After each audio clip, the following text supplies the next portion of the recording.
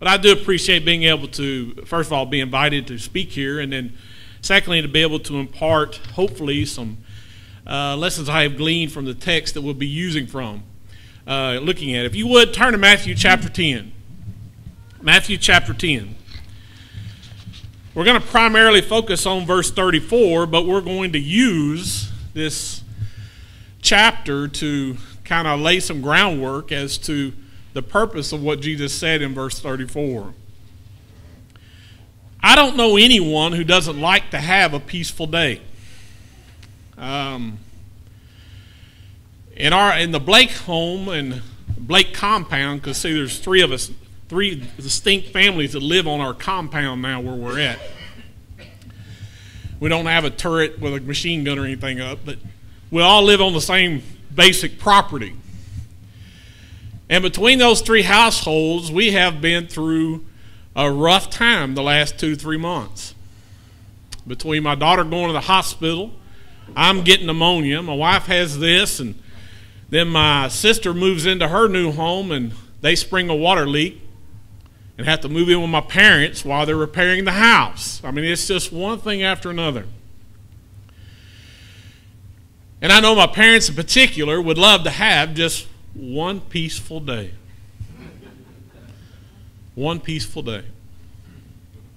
I'm waiting this particular year, beginning in January, to have one week where we go through somebody's not sick.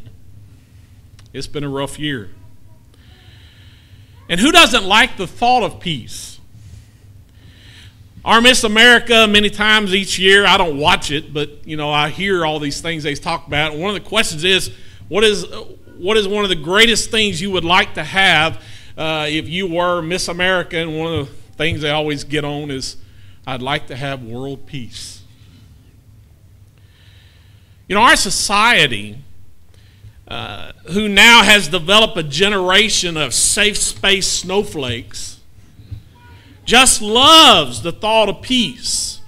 And you know, when I was preparing this, you know, when you got time to think about all this, I I almost wanted to get up and give a public service announcement before I began this sermon because this more this afternoon, the things we're going to talk about are things that will drive people to safe spaces because they cannot take what the Word of God truly speaks about these things.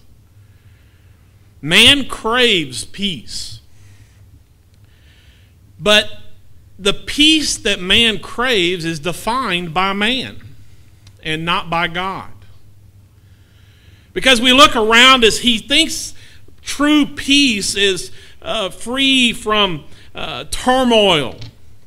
Uh, it's quiet. It's tranquil. It's basically like a utopia. Nothing going on. I'm just enjoying the moment. And that's peace when we talk about peace in the minds of a lot of people. But Christ said in John 14 and verse 20, I know I told you to go to Matthew 10, but I'm begin here in John 14. He says, Peace I live with you, leave with you. My peace I give unto you.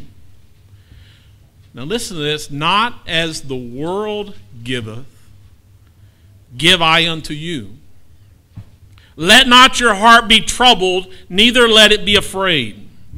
Jesus, the Prince of Peace, not as the world gives, the idea of a false sense of security and a false sense of let's just have peace. But Jesus gives us true peace. He is the definition of peace. It's not, it doesn't matter what might be happening around you, what might be happening to you personally. You can have peace. What a beautiful yet seemingly ungraspable, grasp, graspable thought. How can I have peace when all around me is turmoil? That's the peace Jesus offers, the Prince of Peace. Jesus says we can have this peace, but there are conditions to this peace. You must be willing to do as he commands. And then we can have the peace that Jesus promised to each and every one of us. You know, if you rob a bank, uh, from the moment you decide to do that and it goes into action, there will not be a moment of peace. And it doesn't matter if 30 years down the road you're still not being caught by the police. What are you doing? You're constantly looking over your shoulder. You don't have a moment of peace. Fearing people are going to possibly rob you or turn you in or all manner of things, or I'm going to lose the money that I have stolen. But you know, fearing God will also not give us peace either. If we fear God, and his retribution regarding the sin that we're involved in, there will be no peace either. But Jesus brings peace. Peace not as the world, but peace from heaven. And what our world today needs more of than anything is peace. Not, divine, not defined by us, but defined by the Word of God. And there will always be death, there will always be misery, suffering, wars, and on and on. But in the midst of all that, we can have peace. And so today we're going to look at some passages, particularly beginning in Matthew chapter 10. We're going to begin at verse 34. Jesus said here, Think not that I am come to send peace on earth. I came not to send peace, but a sword. Sounds a little contradictory in what he has just said, what we read in John 14, but the point is, he's referring to, obviously, then, there's two types of peace there's the worldly peace, then there's the peace that comes from God. And he says, if you think I'm going to bring you peace, the worldly peace, guess what? It's not going to happen. How you define peace. He says in verse 35 For I am come to set a man at variance against his father, and daughter against her mother, and daughter in law against mother in law. And a man's foes shall be they of his own household. He, shall, he that loveth father or mother more than me is not worthy of me. And he that loveth son or daughter more than me is not worthy of me. And he that taketh not his cross and followeth after me is not worthy of me. He that findeth his life shall lose it, and he that loseth his life for my sake shall find it. Jesus, the Prince of Peace, brings a sword. The sword here is not the kind of we think about, we look at Vikings and things like that. It's not that type of sword.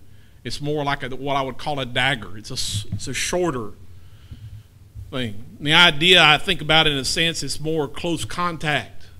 A sword, you have a little bit of room between you and the other person. With a dagger, you don't. You got to get right up on them.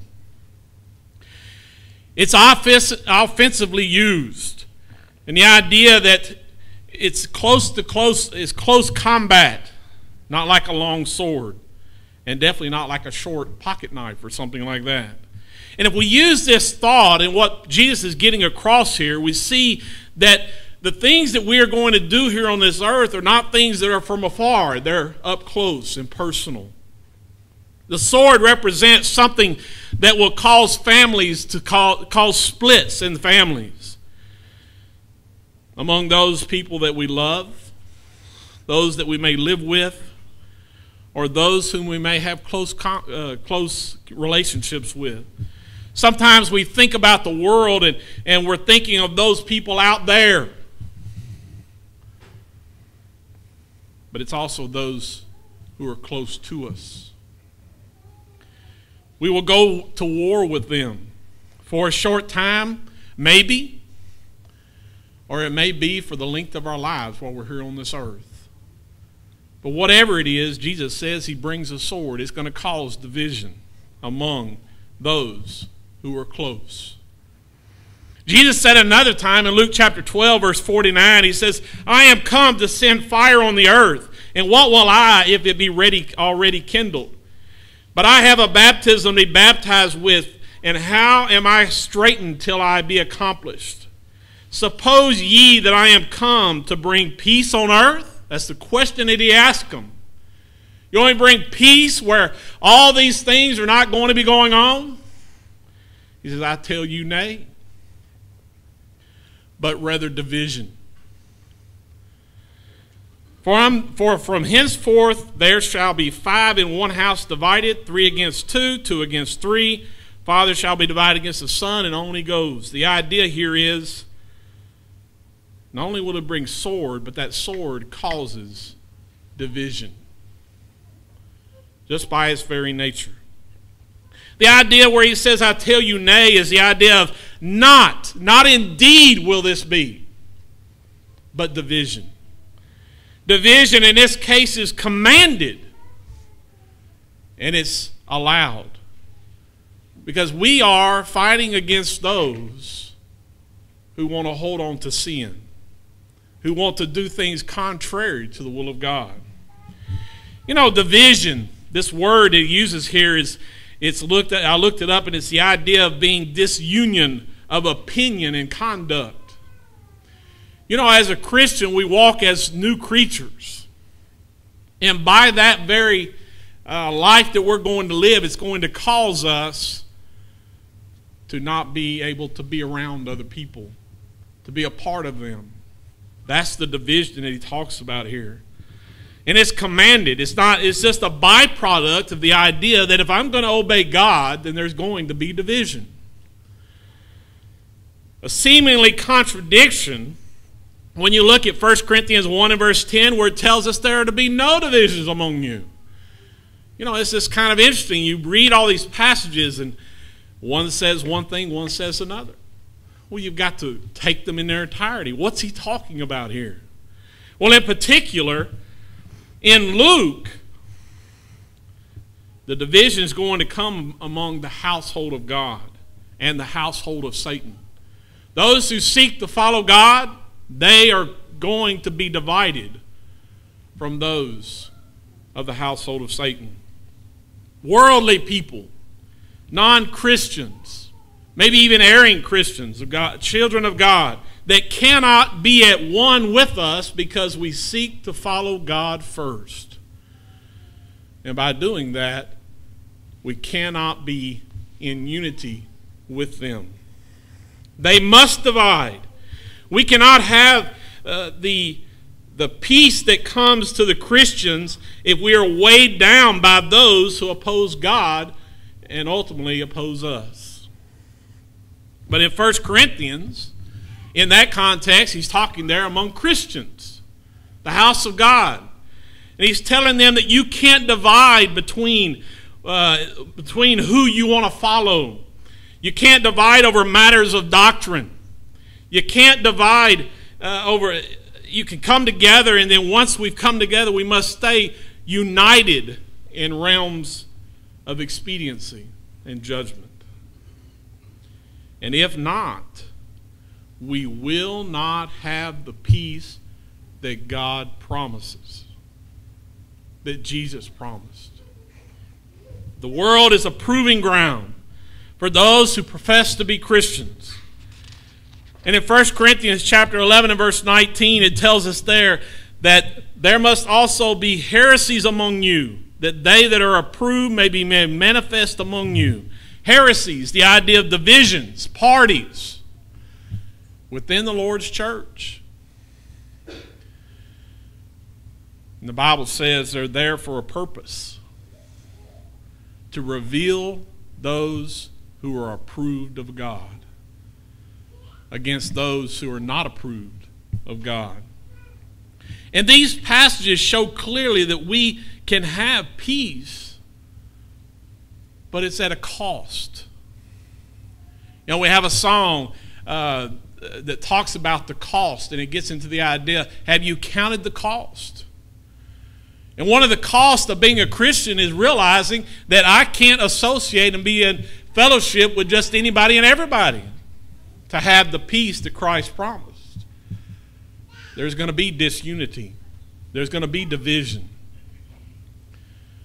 The sword, the Word of God, as we read in Ephesians chapter 6 and verse 17 the sword is the Word of God.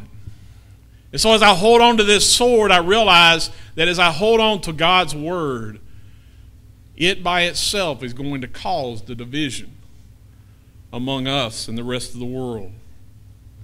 But why do we have this cost? What is this cost?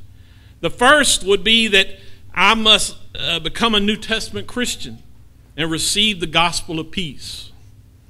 And the cost is going to bring me to a crossroads that many times that I will have in my life. Well, I will have to ask a question. Do I follow my family or do I follow God? Do I follow my friends or do I follow God? Do I follow my husband or my wife or I do what God wants me to do? What about my daughter or my son or God? The preachers, the elders, the leaders in the church or God?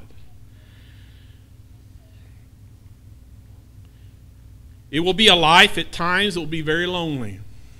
It is sad to me that I have to drive 50 something miles just to meet with another faithful congregation. And if I go north, it's another three and a half or so hours to meet a congregation, North, more or less. Anyway, I have to go far north or far south, but there's nowhere close around. Anytime I'm going to travel, I find out very quickly there are a lot of churches out there, but they're not a lot that Christ would approve of. So therefore, I can't fellowship them, I can't worship with them. It wasn't so growing up. It more or less it had Church of Christ across the board. You could go over there and it, it would be just like visiting, being at your home congregation. The things that were going on there. Now, whew, no telling what might happen in there. Just no telling. It will be a life of misery and pain in the sense of the physical. And that's when I rely upon the peace that comes from God. It's not based upon confusion, but upon the peace of God. In 1 Corinthians 14 and verse 33, for God is not the author of confusion, but of peace as, all, as in all the churches of the saints. It is something that we add by the Spirit in Galatians 5 and verse 22. Peace is one of those things. Why do we not have peace? Well, I want to go back to Matthew 10 and just quickly, because we don't have a lot of time. But I want to very quickly kind of go over Matthew chapter 10 and give us some context of why would Jesus say what he's saying? When the first seven or so verses we have here where Jesus calls the twelve, and he's now about to give them marching orders and basically tell them if you're going to be amongst this 12, these are the things that you're going to go through. He tells them in verse 8 that you're going to be able to heal the sick, going to perform all manner of miracles, and even pulling those from the dead. A side note here, when I was reading it, not part of my sermon necessarily, but it proves a point. He says there that they will freely you have received, freely give. Our modern day miracle workers today, what is the first thing they want you to do? They want some money. Freely you have, freely you give.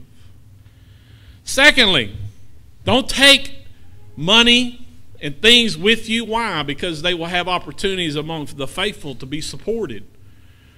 They don't need those things. God will take care of them. But the idea is says you'll go into different cities. Verse 11. You're going to come to a house in verse 12 and you're going to salute it. And if the house is worthy, it's worthy of your saluting. But he gets into another type of house, a house that's not worthy to be saluted. He says, Take your salute back. He goes on and talks about how that many of them were not going to receive you. You see, this is that division, but he begins by explaining to them, You can have this because you're an apostle, you're a chosen to go out and do these things. He says in verse 16, well, he tells them in verse 14, when, when they will not hear your words and you depart out of that house or city, shake off the dust from your feet. And I know that's taken out of context among the denominational world. You keep it in context, he's talking here about there'll be those that will not listen, well, then you just move on. They're not worthy to receive the gospel because they're not, their hearts are not willing to listen, to be molded by the gospel itself. Verse 16, he said, I sent you forth as sheep in the midst of wolves. I don't know about you, but that doesn't sound like much peace is going to come to those who are going to follow Jesus Christ. You're a sheep. We've had sermons on already about sheep. We need a shepherd. We need somebody to take care of us, look out for us. Why? Well, first and foremost, he says here, because there's wolves out there, and they're seeking to destroy you, to cause you harm. He says, Be ye therefore wise as serpents, harmless as doves. Beware of men, verse 17, for they will deliver you up to the councils and they will scourge you in their synagogues. Folks, we are not very far from that here in the United States of America. I sorry, I'm sorry to say it. Brethren, standing up for what's right, you know, already in Canada, other places like that, they are changing laws where it's a hate crime to stand up against homosexuality and all manner of sins that people are involved in today. Our courts are so silly that if you stand up and teach against abortion or anything else, somebody can take you to court. That's how silly our judicial system has become. All these things are going on even today. You'll be brought before governors and kings for my sake, verse 18. Those that will deliver you up, uh, verse 19. Take no thought how or what you shall speak, for it will be given you in that same hour what you shall speak. Now, I know we're talking here the miraculous revelation here and dealing with these apostles. But if you've studied the Bible and you do your due diligence, not only as a gospel preacher, but as an average member of the Lord's church, and you're doing all that you can, the words are there prepare to give a defense. That's what we're commanded to do in 1 Peter. Be able to give a defense. Well, that's the idea here. A brother will bring up, uh, will speak, uh, will deliver up the brother to death. Verse 21. The father and the child, and the child shall rise up against their parents and cause them to be put to death. Your own family are going to turn against you because you stand up for Jesus Christ. They will persecute you, verse 23. You're going to be hated of all men, verse 22. He that endureth to the end shall be saved. he tells them, Don't fear those from without, verse 26. For there is nothing, fear not therefore, for there is nothing covered that shall not be revealed, and hid that shall not be known. What I tell you in darkness, they speak that speak ye in the light, and what you hear in the ear, that you preach unto the housetops. Then verse 28, Fear not them that shall kill the body, but they are not able to kill the soul, but rather fear him which is able to destroy both soul and body in hell. He talks about the sparrows. He talks about the literal hairs on your head, the idea of relationship that God has with each, every individual. You got to count the cost. If you're going to be a New Testament Christian, you've got to be prepared. Revelation 2 and verse 10, even to the giving of your life to stand for the gospel. But there's peace in all this. Some will look at that and think, what peace? You're telling me I might even have to die for this? Yes. Because it's not what people can do to this physical body. That's not what you need to be concerned about. If you die in a faithful state, there's nothing you have to worry about. But the person we need to be concerned about is God because He's able to not only destroy this body, but also our souls. He's the giver of that soul. He can destroy that soul. So I can have peace in knowing that no matter what people may do to me out here in this world, no matter things they may say about me. Earlier, he talks about how that uh, they call me Beelzebub. What do you think they're going to call you? The idea of the attitude that people have toward you. You're going to be the son of Satan. That's what they're going to call you. But Jesus didn't tell them, give up. It's not the right time. Our world isn't ready for this. No, what he tell them? He says, you go out and you preach the gospel to every creature, to every person that will listen. That's what the job is for all of us. Whosoever shall deny me before men, he will also deny before my Father which is in heaven, verse 33. And then we talk about peace. Think that I am not, do not think that I come to send peace on earth. I come not to send peace, but a sword. The very idea is here that we're not here to stir things up just for the sake of stirring things up. I'm not here to stand for what everybody stand against what everybody in the world wants to do just because I want to be the bad guy. No, I do it because that's what I'm commanded to do. And by, by doing that, there will not be peace in how the world views peace. The peace I gain comes from God. Why do some Christians not have peace? Well, first of all, their lives are not in harmony with God's Word. The New Testament Christianity is based upon the idea of the all sufficiency of the Word of God. It will give me everything I need to get through this life. God's will is for mankind is revealed there in the Holy Scriptures. 2 Peter 1 and verse 3 According as his divine power hath given unto us all things that pertain unto life and godliness through the knowledge of him that hath called us to glory and virtue. You know, when our conduct doesn't measure up to the Word of God, we cannot have peace. We must make sure our lives match up to the Word of God. And that is our duty, the idea of correcting the error in our lives. It is a result, secondly, of a prayerless life. People who do not have a right relationship with God. They don't talk to God continuously in their lives. Seems like in a lot of people's lives, the only time they want to talk to God is when things are going bad. When things are going well, not a whole lot of prayers going before God. But in our lives, we need to be praying for the good and for the bad. In the bad times. But since God created man, he knows man's needs, the things that we aspire to. And he is uh, vitally uh, concerned about them. 1 Peter 5 and verse 7, we're reminded to cast all our care upon him, for he careth for you.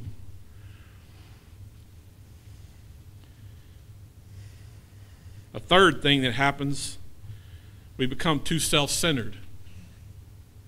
Matthew 22 and verse 39, and the second is the like unto it, thou shalt love thy neighbor as thyself. You know, we heard about the me generation. Well, that's a little bit of what's going on with a lot of people today. Not just that generation, but the generations before and the generations after. We're more concerned about me, about myself. We give all of our affection, uh, all of our time and effort is expended upon me. What will this get me? What can I have from this? It's all about I, me. The Bible's very clear that one of life's major purposes that each and uh, each one of us has is to help others. One of them is to help others. It's the idea of getting focus off me and putting it upon the needs of others. Acts 10, verse 38 How God anointed Jesus of Nazareth with the Holy Ghost and with power, who went about doing good and healing all that were oppressed of the devil, for God was with him. This attitude is shown in Matthew 20 and verse 28. Even as the Son of Man came not to be ministered unto, but to minister and give his life a ransom for many. Jesus didn't come to this earth about himself. He was already perfect. He was already without sin. He came because we're not. He died because we're not perfect. And we had sin in our lives. Too often, many people think the world owes them a living. But the truth is, we owe the, the world a life of helping one another. Fourth reason we don't have peace is because the world has such a strong call upon each and every one of us. You know, some just have not turned their lives over from sin. I think about Lot's wife. What was her problem? Well, she went, she left with them from the city, but what did she do? It says she looked back when she was told not to. And that look there is not just a, a, a fleeting glance. The idea is she looked back thinking about all that she's leaving behind because it had a pull on her. She wasn't really ready to give all that up. I think about that and I think about people that I've come in contact in my life. You know, we're okay, like I say, when it comes to you, when it comes to the world. We're okay in cutting ties and, and doing the things we got to do to, to, to uh, to stay away from those bad influences. But boy, when it becomes one of my sons or my daughters or my favorite preacher, my favorite preaching school, my favorite college. You know, I don't even talk about Freed Hardeman. I graduated from there. I also went to Oklahoma Christian for two years. Y'all might not know. I went three, two or three years. Then I transferred to Freed because I thought they were better. And in some senses they were. They had not slipped as bad as Freed had at that time. But um, the Bible department had its problems then. There was a time when we needed to stand up against one of the deans, particularly his wife, because she stood up in a in a chapel assembly, men and women present, and basically told all the women there that you can have it all. Don't worry about your kids, don't worry about your husband. Get out there and you can have it all. I went to the Bible department and they were very hands off. I wanted one of them to sit down with me and help me write this letter out because if anybody knows, well, most of you don't because you see the final print. But I am not an English major. I do, I speak and then I write worse than I speak in regards to the English language.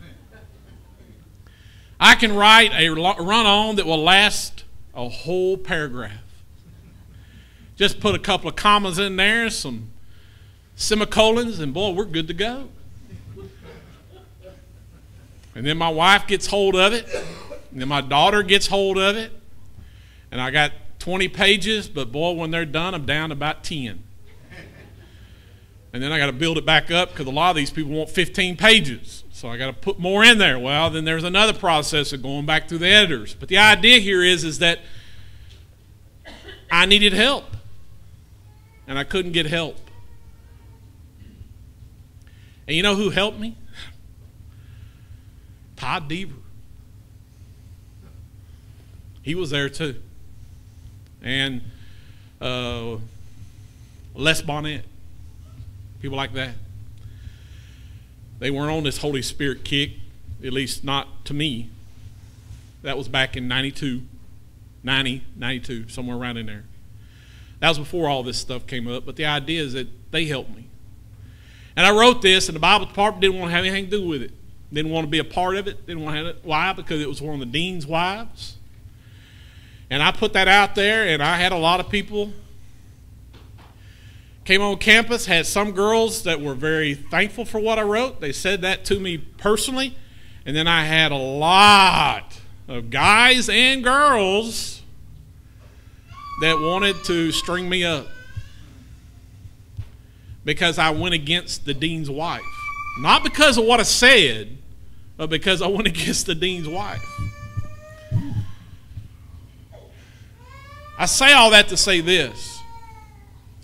I don't broadcast I came from here. I'm not unhappy I came from there, but the idea there is is that if they're wrong, they're wrong, and they are. They were wrong when I was there. And they've only gotten worse, just like the rest of the world has only gotten worse. I wouldn't send my daughter to any of those schools. I'm hoping she finds one close so I can at least spend another four or five more years with her after that. The idea here is, is that the call of the world, people looking back. Demas, 2 Timothy 4 and verse 10, he loved this present world. He gave up salvation. And only that, following Paul, he gave that up because he loved the world. Some love pleasures more than God. Their minds are on earthly things. They cannot, the idea of being double minded. And in all of that, you can't have peace. Your mind's on the world, your mind's on God. Back and forth, back and forth. There's no peace there. I think there's a clinical definition that's schizophrenia, isn't it? Where you have multiple personalities, you're able to go back and forth. That's, that's what a lot of people are living today. Peace of the world The Peace of the world is no peace at all, no true peace. We, if faithful to God, can have peace no matter what is going on around us. Philippians 4 and verse 7, we are told we can have a peace that passeth all understanding. But it says it comes through Christ. In order to have the peace that Jesus promised, the Prince of Peace, the true peace, I have to be a New Testament Christian. But not just that, I have to be a faithful New Testament Christian. So that no matter what's going on around me, what others may say, what happens in my life, what happens in everybody else's life, no matter how this government goes, no matter what war we're involved in, what laws we're passing, I can still have peace because I know that I am in a right relationship with God. And in the end, that's truly what matters. Not what the government's doing, not how many abortions we have, even though it is an ungodly act, murder, no matter how many children are dying every day. What matters is that I have godly peace. Thank you for your time.